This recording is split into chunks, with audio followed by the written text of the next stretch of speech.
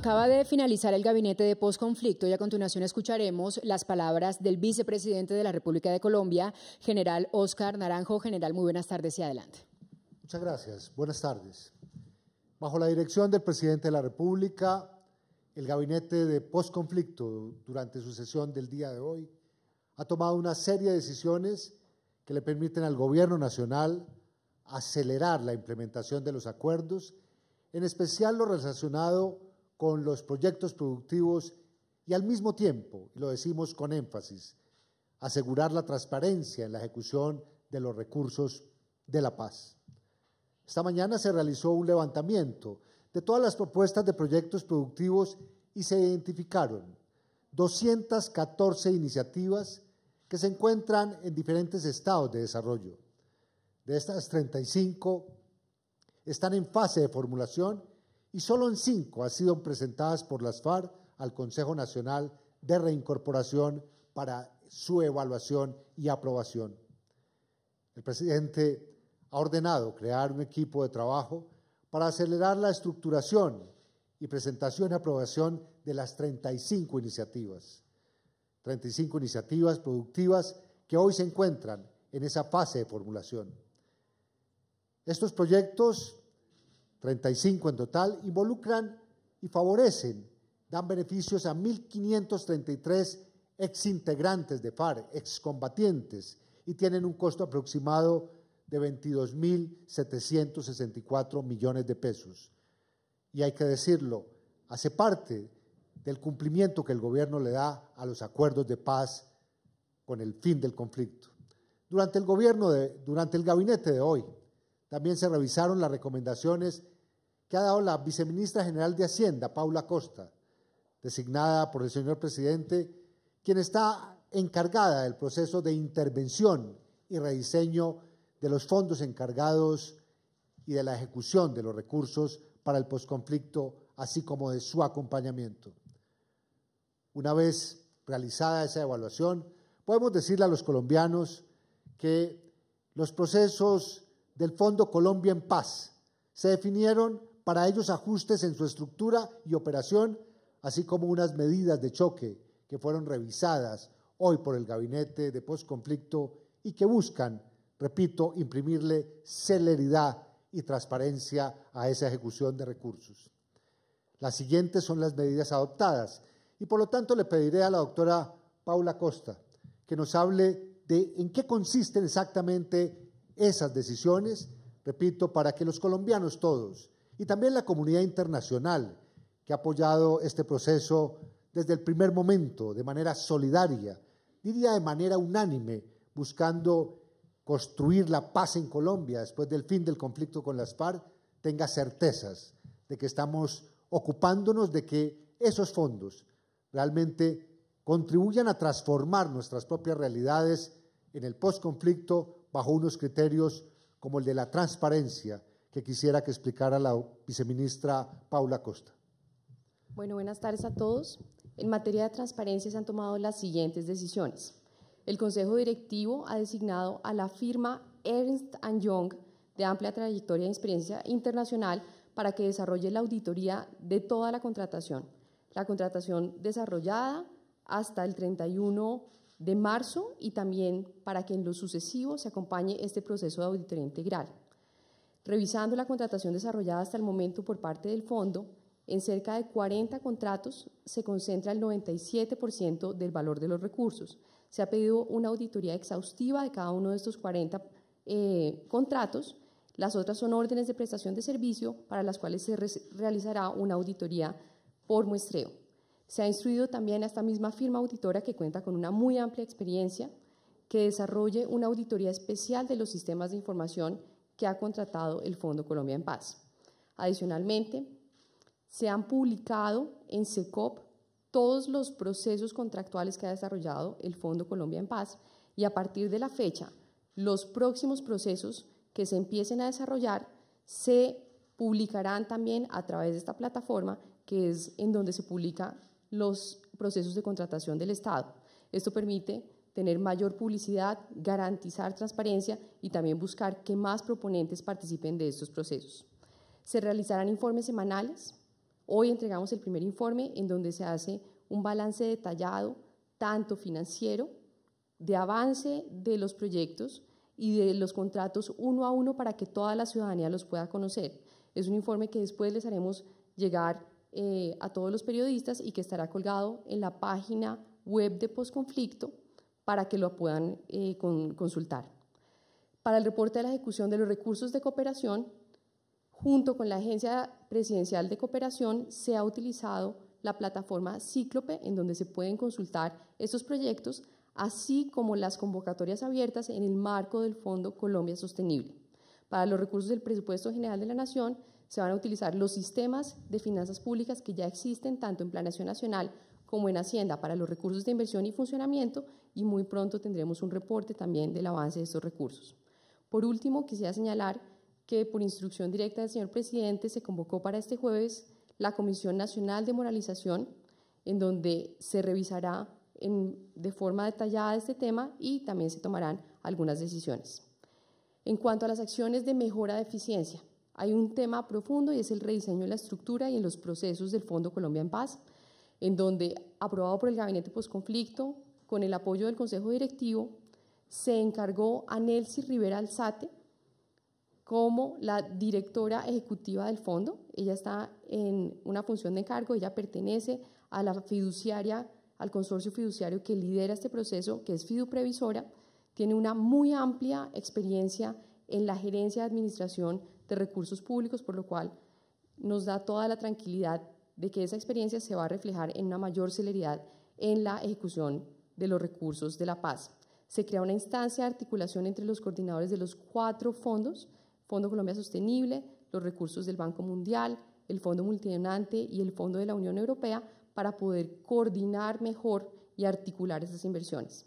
Y todo el proceso contractual en lo administrativo y financiero queda dentro de la cabeza del consorcio fiduciario. Se unen los equipos, el proceso que originalmente estaba partido entre el Fondo Colombia de Paz y la fiduciaria se une y se articula en una única unidad técnica. Sigamos, por favor. El siguiente tema eh, es acerca de la articulación de fuentes, en donde trabajaremos conjuntamente la Agencia Presidencial de Cooperación, el Ministerio de Hacienda, para poder hacer y cumplir esa función que es la de articular los recursos que se administran a través del Fondo Colombia en Paz. Esas son las medidas. Muchas gracias, viceministra. Y quisiéramos también informar a los colombianos que avanzamos haciendo un seguimiento detallado sobre lo que ha significado desarrollar los acuerdos, implementar la paz en todo el territorio. Y por esta razón, la directora de Postconflicto, la doctora Claudia García, va a describir muy brevemente, de manera muy general, lo que significa tener para los colombianos un sistema que permita hacer seguimiento a esa implementación denominado CIPO al interior del gobierno. Doctora Claudia. Gracias. Eh, buenas tardes. Eh, el CIPO, eh, que se lanza hoy como un reporte periódico, el CIPO como sistema se está integrando a los demás sistemas que tiene el gobierno, que son muy robustos, eh, pero mientras tanto y a partir de hoy se va a publicar un reporte periódico con todos los indicadores de avance por cada punto de la implementación eh, de los acuerdos, de lo que se acordó entre el gobierno y las FARC. Muchas gracias. Estamos hablando de más de cuatro centenares de indicadores que realmente harán seguimiento al plan marco de implementación proyectado a 15 años.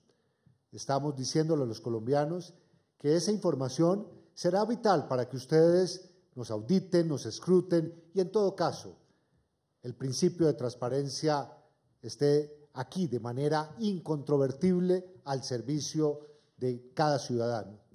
Por otra parte, queremos reafirmar hoy compromisos del señor presidente y del gobierno en relación con situaciones que fueron de conocimiento público y que comportan probablemente, seguramente, conductas delictivas de una red de tramitadores que quisiera apropiarse de recursos del postconflicto.